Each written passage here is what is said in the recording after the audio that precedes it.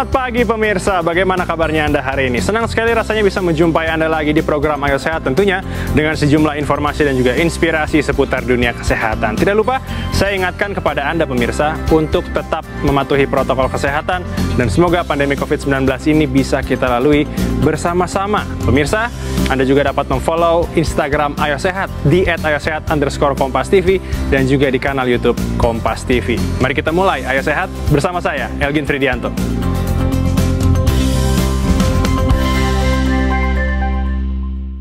Pemirsa, jika Anda kerap merasa sulit tidur, tidur tidak tenang, dan sering terbangun di pertengahan malam, bisa jadi Anda termasuk salah satu penderita insomnia. Umumnya, insomnia yang dialami seseorang bisa berlangsung beberapa hari saja, bahkan hingga dua atau tiga minggu. Namun, pada kasus yang kronis, insomnia bisa bertahan lebih lama lagi. Lalu, seperti apa mengenali insomnia? Berikut informasinya untuk Anda. Pemirsa, pandemi virus corona yang berlangsung lebih dari setahun ini telah mengubah aktivitas. Salah satunya membuat istirahat malam yang nyenyak jauh lebih sulit bagi banyak orang. Perubahan itu memicu lonjakan kasus insomnia di seluruh dunia. Melansir dari laman kompas.com, beberapa ahli menemukan istilah coronasomnia atau covid-somnia. Ini adalah fenomena yang melanda orang-orang di seluruh dunia yang mengalami insomnia terkait tekanan hidup selama COVID-19. Penderita insomnia di Inggris melonjak dari satu per 6 penduduk menjadi satu dari empat penduduk. Begitu juga dengan Tiongkok selama lockdown. Angka insomnia naik dari 14,6 persen menjadi 20 persen. Sementara pencarian kata insomnia di laman situs Google naik 58 persen dibandingkan waktu yang sama sebelum pandemi. Insomnia adalah gangguan menjaga mutu tidur.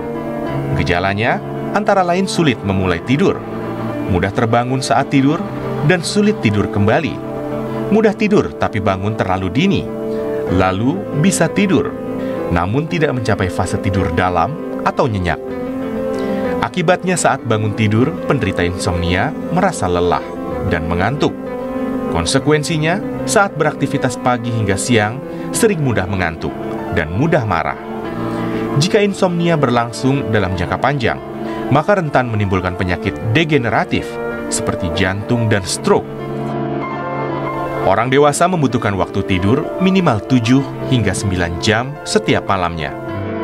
Kurangnya waktu tidur akan berdampak serius pada kesehatan kita, seperti sistem kekebalan tubuh yang melemah, meningkatkan berat badan, risiko diabetes meningkat, dan mempengaruhi kesehatan mental. Lalu bagaimana cara yang tepat mengatasi insomnia? Temukan jawabannya di Ayo Sehat. Pemirsa insomnia atau gangguan tidur ini bisa menyerang siapa saja, tak terkecuali selebritas, baik selebritas Indonesia maupun internasional. Di balik glamor dan hebohnya sorotan kamera, beberapa selebritas yang terlihat bugar ternyata juga mempunyai gangguan tidur ini. Siapa saja selebritas dunia yang pernah mengalami insomnia? Berikut informasinya untuk Anda.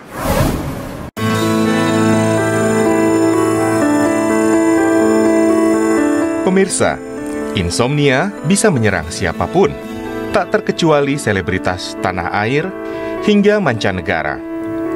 Jadwal yang padat, tuntutan pekerjaan, hingga pola hidup tidak sehat menjadi faktor seorang selebritas dapat dengan mudah terkena insomnia. Mengutip klikdokter.com, sejumlah selebritas dunia pun tak luput dari gangguan tidur yang satu ini. Sebut saja seperti Lady Gaga, George Clooney, Mariah Carey, Jennifer Aniston, hingga raja musik pop Michael Jackson. Artikel harian Kompas pada tahun 2009 menyebutkan, hasil bedah otopsi tim forensik mengenai penyebab kematian Michael Jackson dipastikan akibat konsumsi beragam obat penenang dan obat anestesi pada waktu bersamaan dan dalam dosis yang tinggi. Pemirsa jangan beranjak dulu karena usai jeda Ayo Sehat akan kembali dengan informasi menarik lainnya hanya untuk Anda. Selengkapnya hanya di Ayo Sehat. Usai jeda.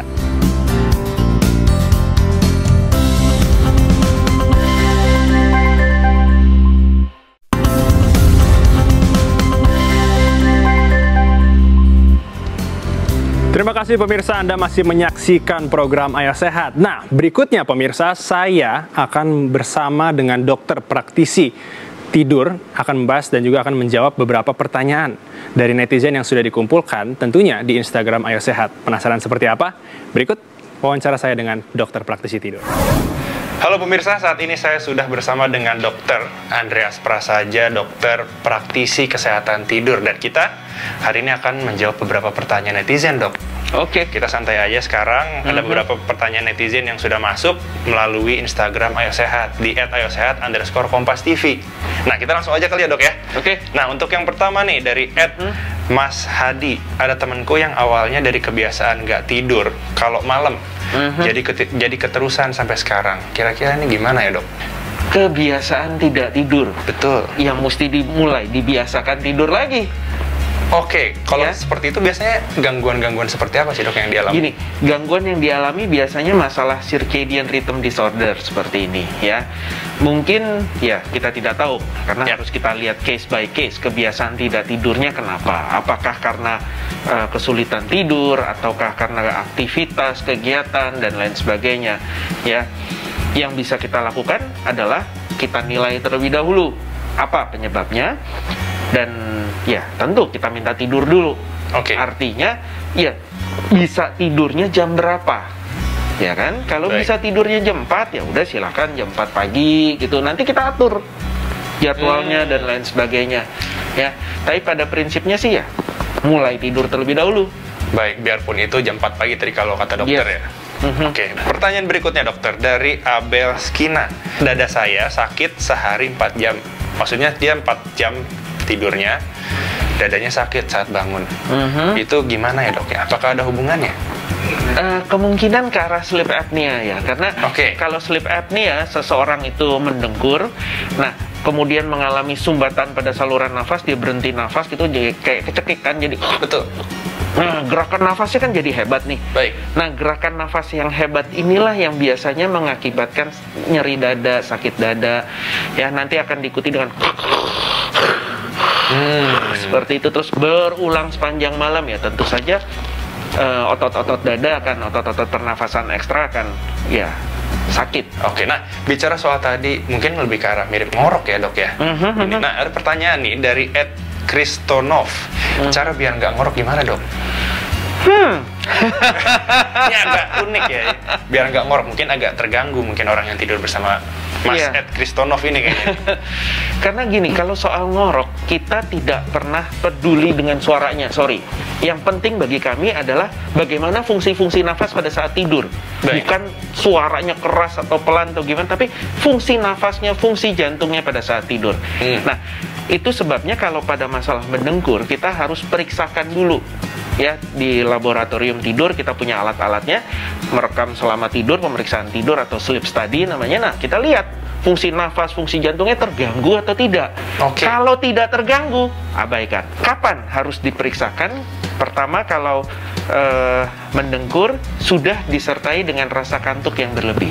Hypersomnia namanya. Jadi bangun kok masih nggak segar, masih ngantuk gitu. Dan eh, ini gejala awalnya. Baik. Ya. Jadi kalau di negara-negara maju gitu ya di dalam pelatihan saya waktu itu pendengkur itu tidak boleh berkendara Oh gitu. karena menyebabkan hypersomnia. Berkendara dalam kondisi mengantuk lebih berbahaya dibanding mabuk. Baik. Berikutnya nih dok dari Ed Glenis Inos. Tidur harus goyang-goyang kaki nih. Yang ngegantung di kasur baru bisa tidur. Gimana nih dok? Nah, ini Mana dok nih? mungkin mungkin. Ya kita tidak tahu mungkin kebiasaan saja. Ya tapi yang perlu diwaspadai adalah eh, ada penyakit tidur yang namanya restless leg syndrome. Baik. bahasa Indonesia bahasa Indonesianya adalah sindroma tungkai gelisah di mana seseorang kalau mau tidur tuh kakinya nggak enak nggak nyaman nah sulit diungkapkan dengan kata-kata bisa kesemutan bisa sakit pegel eh, panas dingin dan lain sebagainya yang khas hanya bisa hilang rasa tidak nyaman ini kalau digerak-gerakan Hmm. Nah, gerak-gerakan udah enakan mau tidur, eh muncul lagi nggak enak, jadi mesti gerak-gerak lagi. Yang ekstrim adalah eh, sampai harus dipijat dulu gitu Baru kan, ya, bisa atau atau bahkan harus turun dari tempat tidur, jalan-jalan keliling-keliling keliling, udah enak mau tidur lagi, muncul lagi. Wah, harus bangun lagi. Biasanya disebabkan oleh gangguan pada syaraf kaki, entah karena komplikasi diabetes, karena eh, syaraf kejepit kah, atau kalau pada kehamilan biasanya juga muncul ya karena defisiensi vitamin B, defisiensi besi, atau yang agak parah adalah gangguan pada fungsi ginjal. Ini ada dua nih dok, dari Ed Fanny Melani. Yang pertama, kenapa kalau lagi tidur, kenapa kalau lagi kurang tidur, maaf, malah nggak bisa tidur cepat, tapi kalau cukup tidur malah cepat ngantuk. Itu yang pertama. Yang Mhm. kedua, kalau badan capek, ngantuk banget juga, bahkan mata udah sampai perih, tapi nggak bisa tidur sampai harus selalu dengerin lagu pengantar tidur, barulah dia Aha. bisa tidur. Kenapa dok? Sederhana, sebelum tidur kita harus rileks terlebih dahulu. Jadi, untuk tidur kita perlu dua hal. Yang satu ngantuk, yang kedua adalah rileks. Betul. Jadi, biasakan sebelum tidur, tidur kita ada waktu untuk nyaman dulu, relaxing dulu, baru tidur. Hmm. Ya, karena gini, kalau kita kecapean sekali terlalu sibuk gitu ya, apalagi kita kurang tidur gitu kan, badan ini kan kekurangan tenaga. Akibatnya tubuh akan mengambil energi cadangan nih. Mm-mm. Dari mana? Adrenalin akan ditingkatkan. Oke. Akibatnya ya you know adrenalin ya kita jadi gelisah, jumpy dan lain sebagainya sehingga kalau kecapean malah kok jadi lebih susah tidur ya. Itulah kita perlu menurunkan dulu Hmm. dengan cara ya relaxing dulu. Dengar lagu dulu itu udah bagus. Silahkan diteruskan. Ada satu lagi nih dok, saya lupa. Hmm. Tadi kan mungkin itu bicara anak muda mungkin ya harus Oke. mendengarkan lagu terlebih dahulu. Nah ini untuk lansia dari Ed Chandra Kirvita. Mhm. Mama saya 63 tahun belakangan insomnia kayaknya. Aha. Dia rajin tahajudan jam 2 Oke. bangunnya. Nah dulu tuh jam 9 malam udah bisa tidur maksimal setengah 10. Belakangan ini benar-benar nggak bisa tidur nih. Tapi beberapa minggu yang lalu ini sempat pilek karena minum obat jadi Mhm. enak tidurnya dok. Oke. Kira-kira gimana nih? Apakah ada terapi khusus? sederhana aja atur waktu tidur dengan baik atur pencahayaan dengan baik karena gini pada eh, lansia biasanya itu gangguan tidurnya insomnianya tuh agak unik Mm-mm. yaitu jam tidurnya jadi maju Iya betul. circadian rhythm disorder eh, tipe advanced sleep phase. Jadi eh, yang muda-muda biasanya jam 10, jam 11 ada yang jam 12. Nah, ini jam 8 udah ngantuk ditahan-tahan jam 9 tidur gitu kan atau jam 7 bahkan sudah mengantuk dan di tengah malam terbangun. Nah, biasanya tengah malam bangun setelah tahajud dan lain sebagainya jadi sulit tidur kembali karena tidurnya udah cukup. Oke, nah kalau pada kasus ini kan eh, sudah biasanya tidur jam 9 nih ada gangguan sehingga eh, sulit tidur gitu ya. Kalau dari saya pencahayaan harus diatur. Oke. Jadi irama siang dan malam nih harus diatur. Dibedakan aktivitas siang, aktivitas malam, kemudian pencahayaan siang dan malam nih harus dibedakan. Misalkan kalau di siang hari ya harus terang benderang, ekspos cahaya bila perlu di pagi hari eh, dalam tanda kutip jemuran dulu Ya, gitu sekitar 15 menit. Ini akan sangat membantu untuk proses tidur di malam harinya. Baik, baik. Berarti memang istilahnya ngomong kasarnya ya. Mhm. Capek dulu pagi sampai siang sampai sore. Iya, persis. Malamnya barulah Mhm. diistirahatkan ya dok ya. Oke, Mhm. baik, baik. Nah, dok terima kasih nih untuk tanya jawab netizennya. Pemirsa jangan beranjak dulu karena habis ini saya dan juga dokter Andreas nih akan terapi ya dok ya. Mhm. Praktekkan terapi tidur seperti apa. Jangan beranjak dulu. Ayo saya akan segera kembali usai jeda.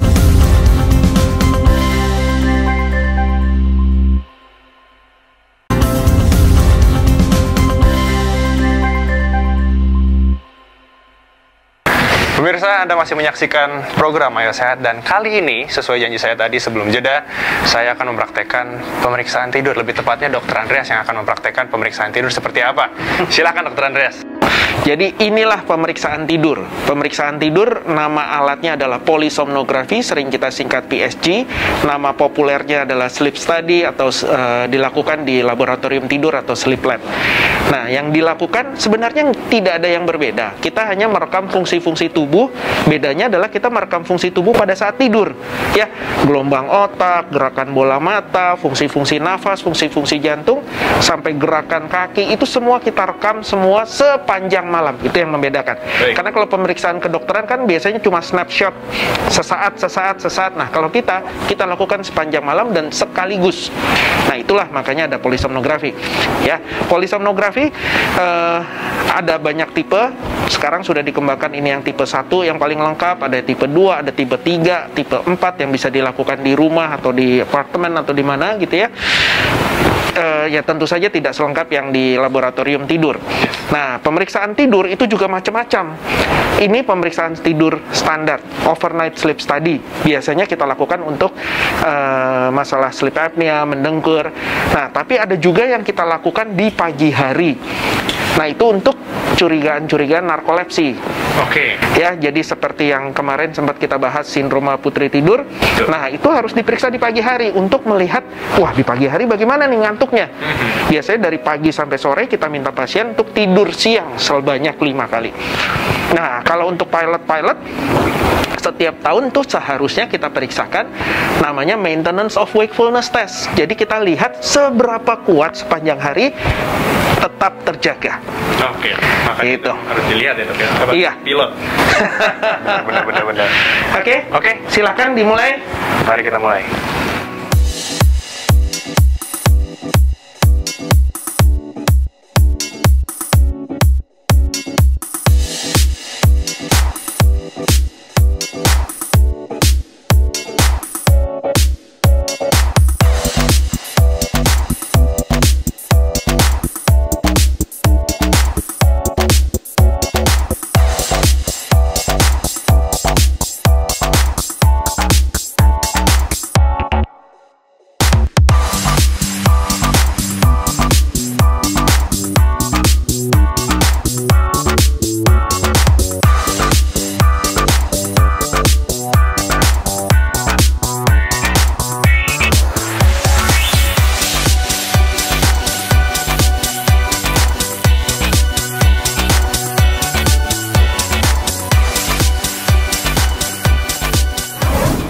Pemirsa tadi sudah dilakukan pemeriksaan soal tidur ya dok ya? Dan cukup banyak yang ditempel dok.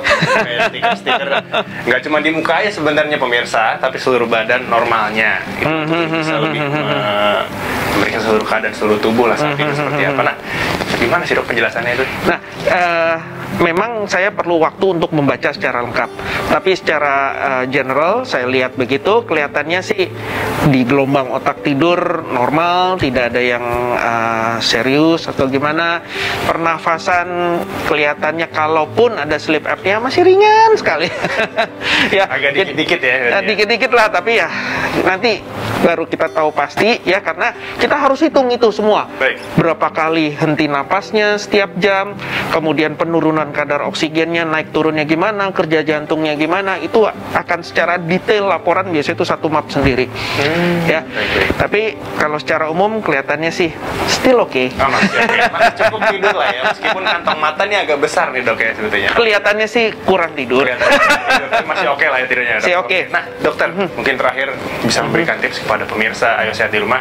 Sekiranya kalau seandainya ada permasalahan tidur baik itu sleep apnea ataupun insomnia, bisa rekomendasikan harus terapi atau bagaimana? Silakan dokter. Oke, kalau soal tidur yang penting itu nyaman. Nomor satu nyaman. Bukan kasurnya bagaimana, bantalnya gimana. Yang penting nyaman. Setiap orang selera beda. Dan sudah pasti sebelum tidur kita harus relaksasi terlebih dahulu supaya menjamin kualitas tidur yang baik. Nah, gangguan-gangguan pada kualitas tidur eh, sering kali tidak dirasakan oleh penderita, ya, baru dirasakan di pagi hari sebagai rasa kantuk yang berlebih. Ya, nomor satu percaya sama pasangan. Karena pasangan yang tahu, kita biasanya nggak tahu. Betul, betul, Ngorok betul. apa enggak, yang tahu orang lain, bukan kita.